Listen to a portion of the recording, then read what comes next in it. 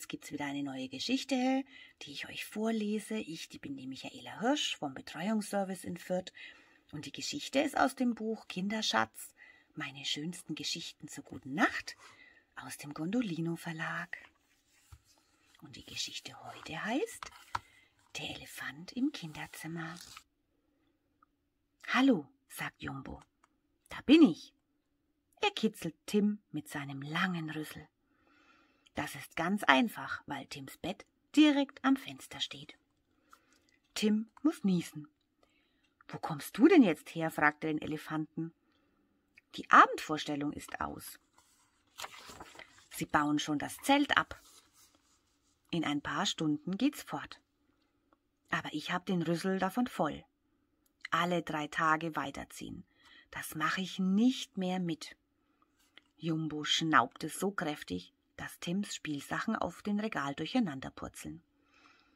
Tim steht auf und setzt sich auf die breite Fensterbank.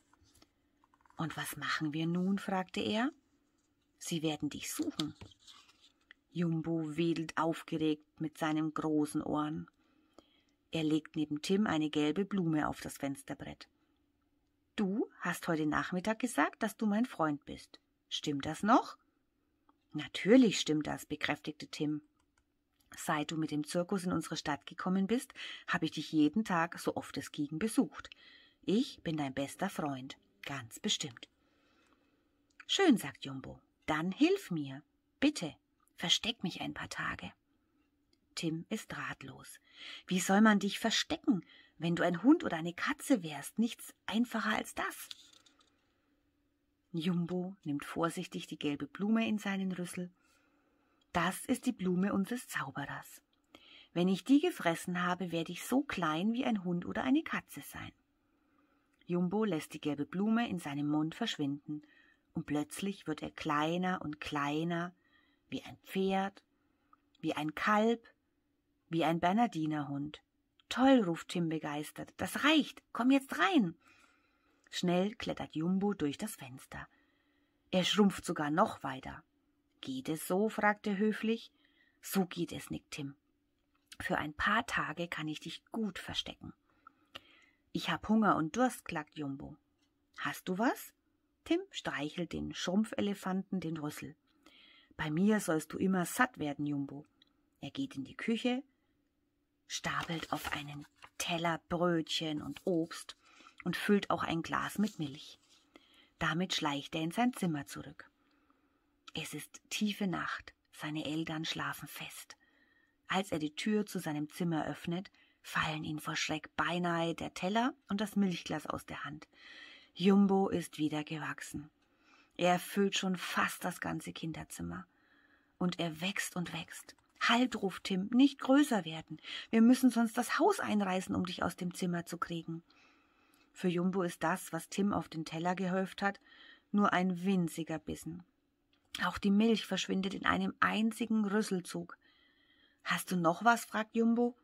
Tim holt alles, was er in der Küche finden kann. Brot, Kartoffeln, Obst, Gemüse und einen ganzen Eimer Wasser. Reicht das nun? Es reicht nicht, klagt Jumbo.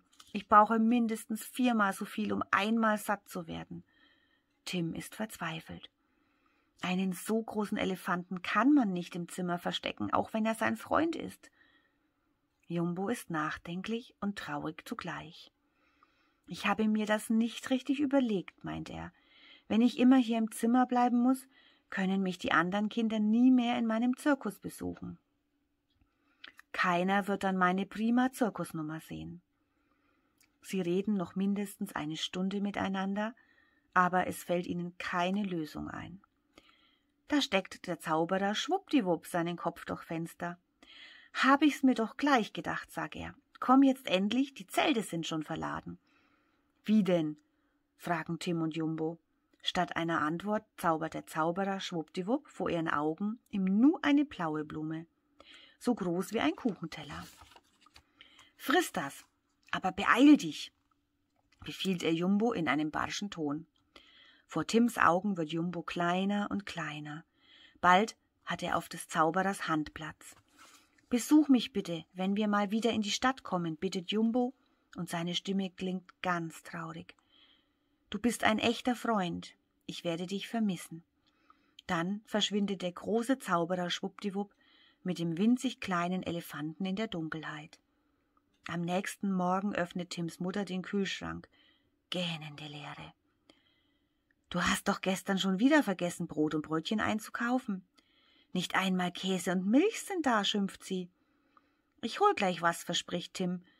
Als er zur Bäckerei läuft, bleibt er eine Weile an der Litfaßsäule stehen.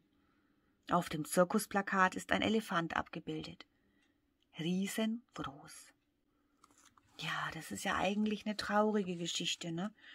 Eigentlich wollte der Elefant nicht mehr mit dem Zirkus mit und ich finde es auch nicht so gut, wenn Tiere im Zirkus eingesperrt werden und da irgendwelche Kunststücke vorführen. Vielleicht geht es euch ja da auch so.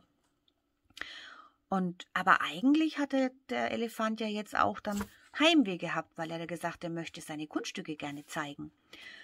Ja, da müsste man jetzt eigentlich die Tiere immer fragen, ob es ihnen gefällt. Aber das könnt ihr euch ja selber mal überlegen, ob euch das gefällt, wenn die Tiere im Zirkus sind, oder ob ihr die lieber in der Freiheit seht. Dann könnt ihr heute Nacht schön von Tieren träumen, vielleicht vom Zoo, vom Zirkus oder von der großen weiten Welt, wo die ganzen Tiere alle frei laufen. Ich wünsche euch eine gute Nacht und bis zur nächsten Montagsgeschichte. Eure Michaela Hirsch. Tschüss.